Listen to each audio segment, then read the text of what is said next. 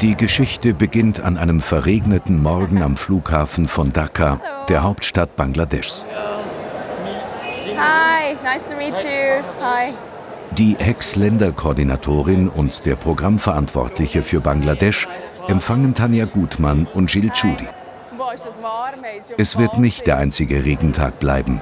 Nass werden wir schon, bevor uns der Monsunregen empfängt. Eine klebrig feuchte Hitze drückt uns den Schweiß aus den Poren und beschlägt unsere Kamera. Wir filmen trotzdem und bekommen schon am Flughafentor einen Eindruck von der Härte des Alltags hier in Bangladesch. Hello.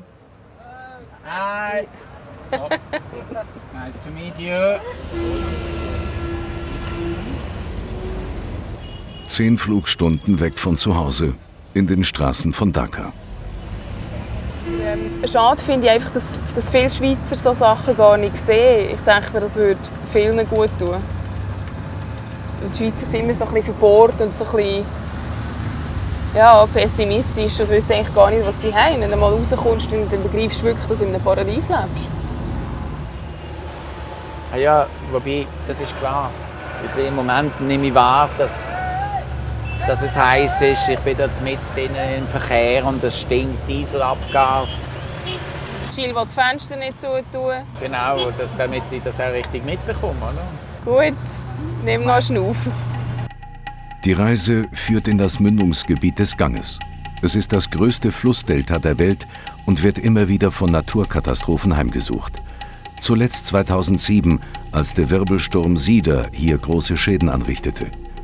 Im Zentrum der Verwüstungen das Dorf Patargata, das Ziel unserer Reise.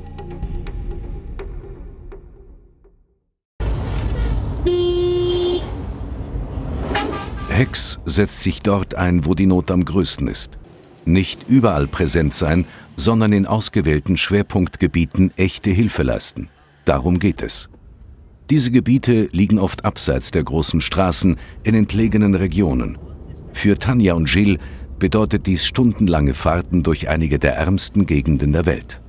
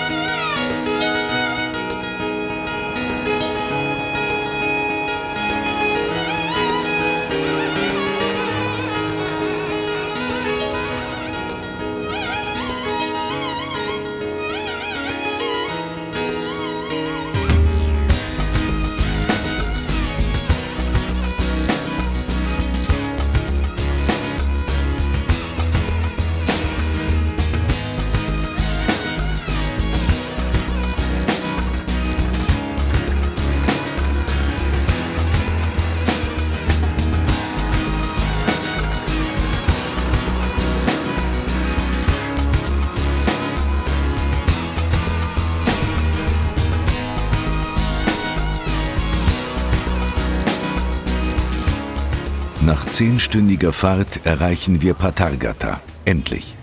Erschöpft und voller Eindrücke erreichen wir unser Ziel. Zeit, diese Eindrücke zu verarbeiten, bleibt keine. Ah. Uhlala. Das ist ein Empfang. Wow. It's a bit difficult to find the entrance of the hotel. Ah, yes. That's why I was asking him which one is the building. Im Dorf macht die Nachricht vom Besuch aus der Schweiz schnell die Runde. You.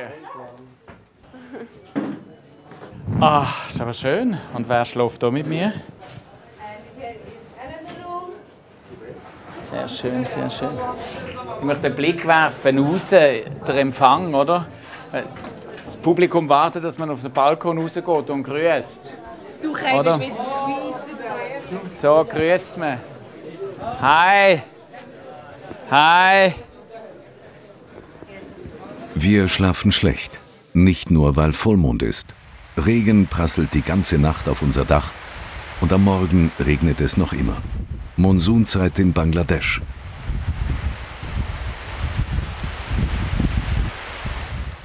Wir begleiten die beiden Hex-Mitarbeitenden Shamima Akhter Shimul und Pieder Kasura auf einen Feldbesuch zu einem Fischer aus der Region.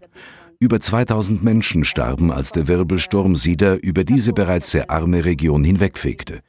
Fischer Abul und seine Familie haben überlebt, aber der Sturm hat ihre Hütte zerstört und ihnen alles genommen, was sie besaßen.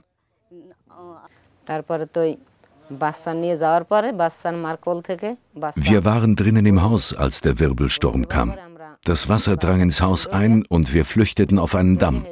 Plötzlich war unsere Tochter verschwunden. Wir suchten sie und sahen zunächst nur ihr Bein über der Wasseroberfläche. Wir packten sie und schwammen alle zusammen zu einem Boot in einem Seitenarm des Flusses, wo wir uns in Sicherheit bringen konnten.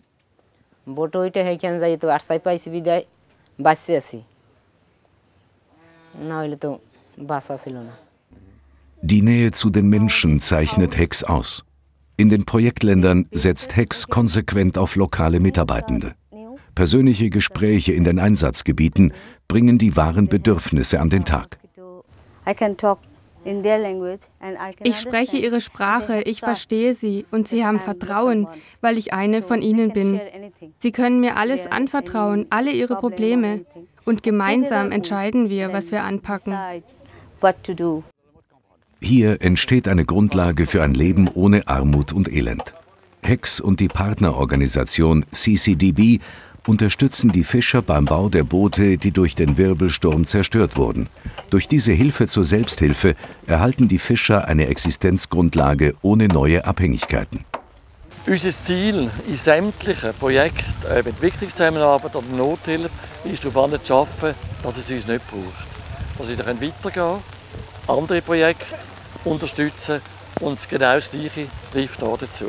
Sie können sich selber helfen, indem sie auf ihrem Boot mit ihrer Verantwortung, wo sie auch die soziale Kontrolle haben auf dem Boot, selber ihr Leben können gestalten in finanzieller Würde und in Sicherheit auch. Richteten sich die Anstrengungen in den ersten Wochen nach dem Wirbelsturm darauf, das Überleben der Menschen zu sichern, geht es heute um weit mehr. Acht Fischer werden sich dieses Boot teilen. Einer von ihnen ist Fischer Abul.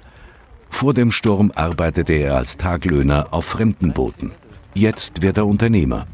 Im Kleinen Großes bewirken. Nicht nur ein Werbeslogan, sondern gelebte Wirklichkeit.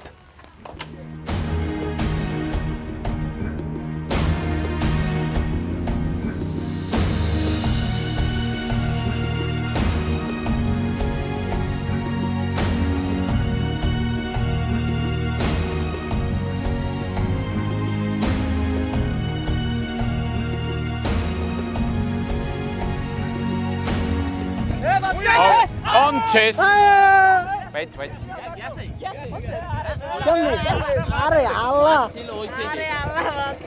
Einer ist drinnen gesehen und ist gerade wieder weggesprungen. In meiner Anwesenheit ist es nicht möglich, dass ein Fisch gefangen wird. In Bangladesch sind die Menschen den Launen der Natur oft machtlos ausgeliefert. Etwas davon bekommen auch Tanja und Jill an diesem Tag zu spüren. Plötzlich zieht ein Sturm auf. Ans Filmen ist nicht mehr zu denken. Trotz Sturmwarnung dritten Grades schaffen wir es zurück ans Ufer. Aus dem Süden zurück in Dhaka. Auch hier lauern Gefahren, wenn auch andere. Jetzt wird's spannend. Look. Eine der 500.000 Rikschas der Stadt bahnt sich mit Tanja und Jill einen Weg durch den mörderischen Verkehr. Dhaka, das sind 12 Millionen Menschen auf engstem Raum. Das industrielle, wirtschaftliche und administrative Zentrum von Bangladesch wächst schneller als jede andere Stadt der Welt. Keine Infrastruktur kann ein derartiges Wachstum verkraften.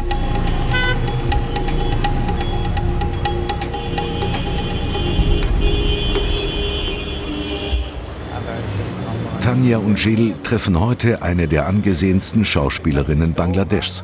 Auf dem Programm steht eine Modeschau in einem Geschäft, das Produkte aus den Projekten der Hex-Partnerorganisation Ubinik verkauft. Nur das Geschäft finden ist gar nicht so einfach. Das muss, das muss da um eine Ecke. laufen, ja. Das ist. Das ist, glaube das ist sie, ja. Die Rikscha-Fahrt durch das Labyrinth der Straßen hat länger gedauert als vorgesehen. Darum erwartet uns die bengalische Berühmtheit Tropa Majumdar bereits. Tropa Majumdar, she's a famous actress. Oh, thank you, thank you. Her whole family. Das Textilhandwerk besitzt in Bangladesch eine über tausendjährige Tradition. Die im Vergleich dazu kurze Zeit der Kolonialisierung hat den Bangladeschi das Selbstbewusstsein und den Stolz auf das eigene Kunsthandwerk nicht nehmen können. Heute wird das traditionelle Design durch die indische Filmindustrie Bollywood konkurrenziert. Dem eigenen Kunsthandwerk die Marktchancen zurückgeben, die es verdient, ist ein Ziel der Arbeit von Hex. Persönlichkeiten wie Tropa Majumdar spielen dabei eine wichtige Rolle. Oh yeah, that's cool. Let's try that. No matter how much Bollywood influences Ganz gleich, wie stark Bollywood uns beeinflusst. Irgendwann werden wir zurückkommen müssen zu uns selbst, zu dem, was wir sind. Wir, die im Rampenlicht der Medien stehen, haben die Möglichkeit, die Leute zu beeinflussen. Indem wir für diese Produkte werben, stehen wir zu unseren Werten, unserer Kultur und unserer Tradition. Wir können etwas verändern, indem wir diese Produkte tragen. Traditionen bringen uns weiter. uh, conceptualizing the thing that tradition takes oneself ahead.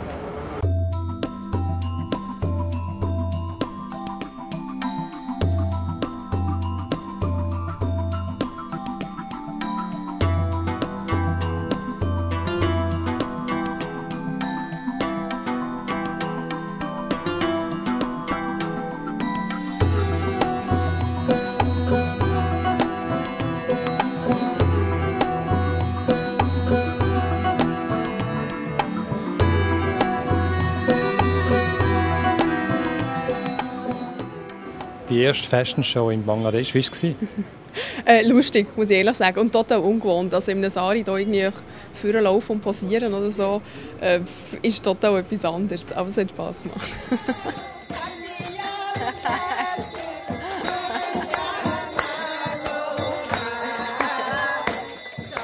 Ankunft in Tangail, fünf Autostunden nördlich von Dhaka. Von hier stammen die Stoffe und Saris, die in Dhaka verkauft werden. Weber- und Bauernfamilien empfangen Tanja und Jill mit traditionellen Liedern, die jede Generation an die nächste weitergibt.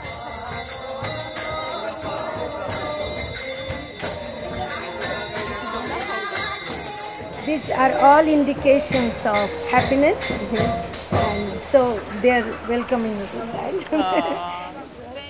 Im Webereizentrum von Ubinik in Tangail wird die nachhaltige, ökologische und traditionelle Produktionsweise geschult und praktiziert.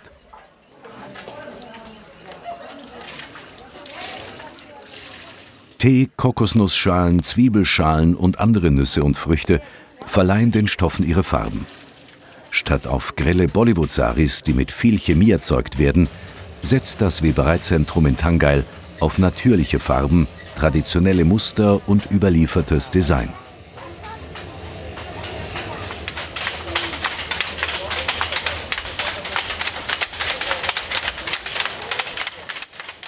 Die Hex-Partnerorganisation kauft den Weber-Familien die Stoffe zu garantierten Mindestpreisen ab. 10.000 Familien profitieren in der Region von Tangail von dieser Einkommensförderung. Hex setzt sich ein für ein Leben in Würde und finanzieller Sicherheit, unabhängig von Religion, Ethnie oder Geschlecht. Darum bricht das Webereizentrum in einem Punkt mit den Konventionen der Vergangenheit. Sind den Frauen in Bangladesch üblicherweise die vorbereitenden Arbeitsschritte wie das Spinnen zugedacht, sitzen die Frauen hier an den Webstühlen. Eine Arbeit, die traditionellerweise Aufgabe des Mannes ist. Dadurch bieten sich den Frauen mehr Möglichkeiten zu einem selbstbestimmten Leben. Ein westliches Konzept der Emanzipation für eine Gesellschaft, die sich stark über traditionelle Werte definiert?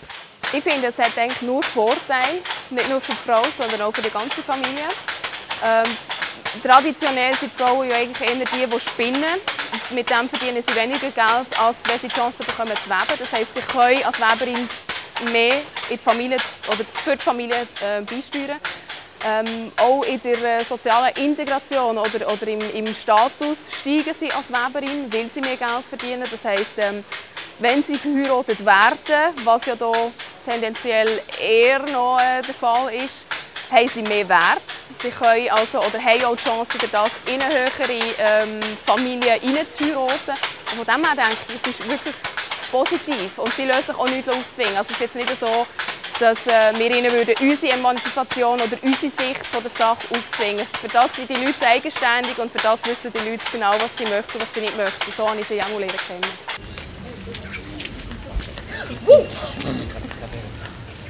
Wenn dann geh. Was denn geh? Und nimm mich nicht nur mit. Ja. An diesem Tag beträgt die Luftfeuchtigkeit nahezu 90 Prozent. Man schwitzt bei jeder Bewegung. Besuch bei einer Weberfamilie. Fünf Personen leben hier auf engstem Raum. Der Vater arbeitet als Taglöhner in einer großen Weberei. Weil das Geld, das er verdient, zum Überleben nicht ausreicht, packt die ganze Familie mit an. Mutter Rahima webt Saris. Die Kinder spinnen das Garn. Zusammen kommt die Familie so auf ein Einkommen von etwa drei Franken pro Tag. Kinderarbeit ist hier wie anderswo in Bangladesch eine Realität.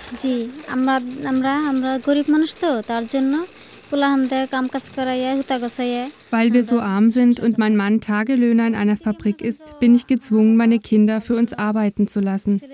Sie tragen wesentlich zu unserem Familieneinkommen bei. Es ist mir aber wichtig, dass unsere Kinder eine Ausbildung erhalten, lesen und schreiben lernen. Die Kinder arbeiten am Morgen zwei bis drei Stunden daheim, dann gehen sie zur Schule und abends helfen sie mir wieder beim Spinnen.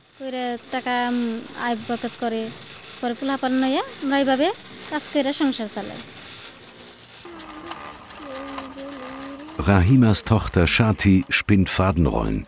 Zehn Stück schafft sie pro Tag.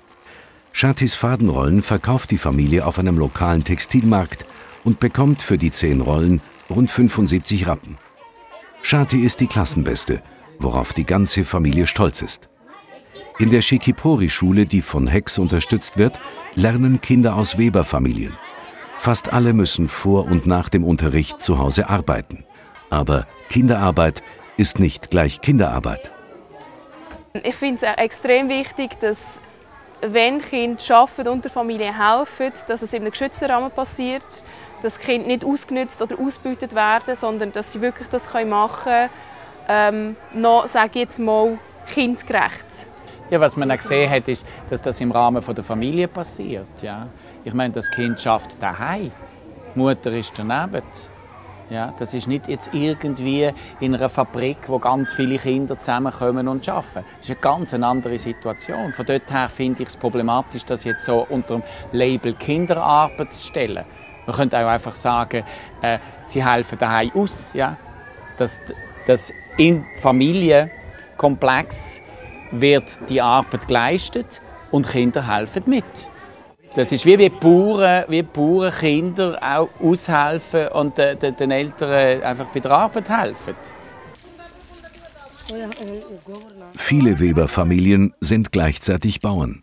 Darum vermittelt die Schule neben einer Grundbildung auch Wissen zu nachhaltiger Landwirtschaft. Aus Kompost wird nährstoffreiche Erde, mit der die Pflanzen aus dem eigenen Saatgut aufgezogen werden.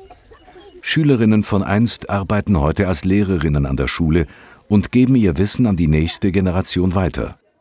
So schließt sich der Wirkungskreis der ländlichen Entwicklung und immer weitere Bevölkerungskreise profitieren vom Wissen, das aus den Projekten resultiert. Good morning. Good morning. Good evening.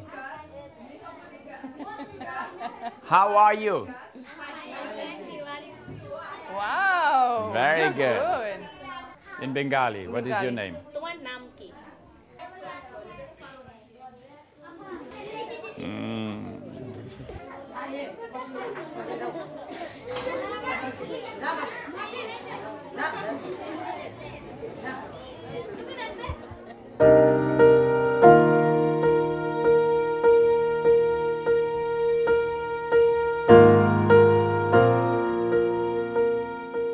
Mm. Kleinen Großes bewirken. Hex unterstützt ländliche Gemeinschaften in ihren Bemühungen zur Existenzsicherung. Eigenverantwortung heißt, Bauern entscheiden selber, welches Saatgut sie verwenden. Selbstbestimmung statt neue Abhängigkeiten ist das Ziel. Respekt vor den kulturellen Eigenheiten und Mitbestimmung sind dabei zentrale Werte. Hex ist auf Menschen angewiesen, die diese Werte teilen. Wir sind umgeben von einem Rhythmus, den wir nicht kennen, wo es eine Ruhe und eine Freude an der Arbeit äh, und äh, das ist etwas, wo, wo einem positiv berührt und man kann sich ja vorstellen, wieso äh, müssen die Menschen unterstützt werden. Ihnen geht es ja gut, ja. Und äh, dann habe ich müssen aber doch mir sagen, dass es geht ihnen auch gut, weil man sie unterstützt, ja. Und weil sie die Möglichkeit haben, äh, das Bewusstsein wieder zurückzuerlangen, das sie einmal früher hatten, wo aber verloren gegangen ist durch den Eingriff von der westlichen Welt mit, äh, mit ihren, mit ihren äh, Industriesaatgut äh, und äh, mit der Industriedüngung, wo einfach die Industrieländer haben Geld machen und äh, die Gutgläubigkeit der Einwohner hier benutzt hat. Und jetzt, dank dem Bewusstsein, dass es eben anders kann gehen und besser kann gehen, weil durch die Monokulturen sind auch die Länder zerstört worden, also der Boden zerstört worden. Dadurch, dass das wieder jetzt äh, Schritt für Schritt rückgängig gemacht wird, äh, kommen sie eigentlich wieder in, in den Zustand, wo sie wahrscheinlich vorher hatten. In den 70er und 80er Jahren des letzten Jahrhunderts wurden in Bangladesch Hochertragssorten und Monokulturen mit massivem Einsatz von chemischem Dünger eingeführt. Die Hex-Partnerorganisation Ubinik gehört zu den ersten Organisationen, die das Umdenken förderte. Beratung und Ausbildung interessierter Bäuerinnen und Bauern sind das Rückgrat der Arbeit. Über 200.000 Bauern sind inzwischen zum ökologischen Landbau zurückgekehrt. Eine davon ist Bäuerin Rabeja. Sie ist verantwortlich für die lokale Saatgutbank, wo einheimisches Saatgut gelagert wird. Saatgut, das durch die Hochertragssorten westlicher Agromultis verdrängt worden war. Dank Ubinik gibt es für diese ökologisch produzierten Reissorten heute in Bangladesch wieder einen Markt. Es geht in erster Linie darum, die Abhängigkeit von der Agromulti aufzulösen oder mindestens ganz stark zu verringern, so dass die Bäuerinnen und Bauern jedes Jahr ihr eigenes Saatgut generieren können. Es mag zwar schon sein, dass in den ersten Jahren mit dem Input von Chemie der Erträge höher sind, aber auch der finanzielle Input der Bauern, also die Kosten, sind viel, viel höher. Und über zwei, drei Jahre nach der Umstellung auf eine biologische Landwirtschaft sind auch die Erträge in der Gesamtrechnung sind dann gleich oder sogar noch bisschen höher als mit der Chemielandwirtschaft. Rabeyas Familie hat es zu bescheidenem Wohlstand und Ansehen gebracht. Davon zeugen ihr Hof und die verhältnismäßig großzügigen Platzverhältnisse. Ah. heiß ist hier nicht nur das Essen. Das Klima in Bangladesch ist eines der extremsten der Welt. Also ich habe gar nicht gewusst, dass du schwitzen kannst. Du musst nur da stehen und es läuft einfach nur runter. Von morgen bis am nächsten Morgen wieder aufstehst. Also 24 Stunden, es läuft einfach.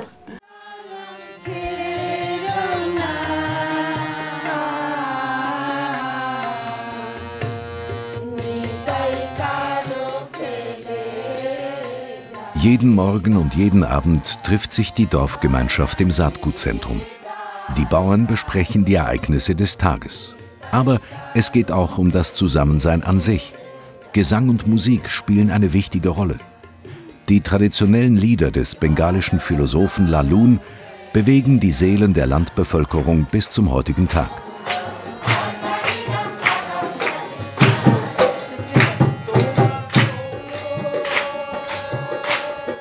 Für Tanja und Jill ist es der letzte Abend in Tangail. Es ist mir absolut Rätsel, wie die mit so viel Stoff selber umgehen. Und es ist brutal warm. Hey.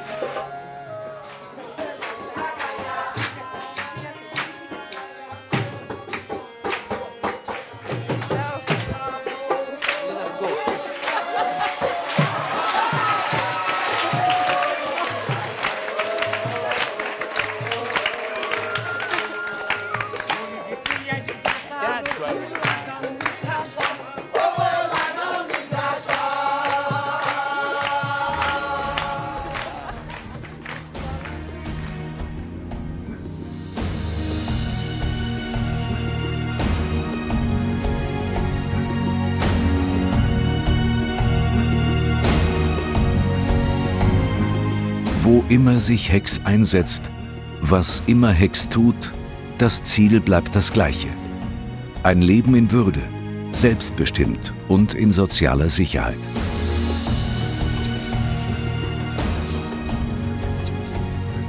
Im Kleinen bewirken wir Großes. Gemeinsam, direkt, wirksam.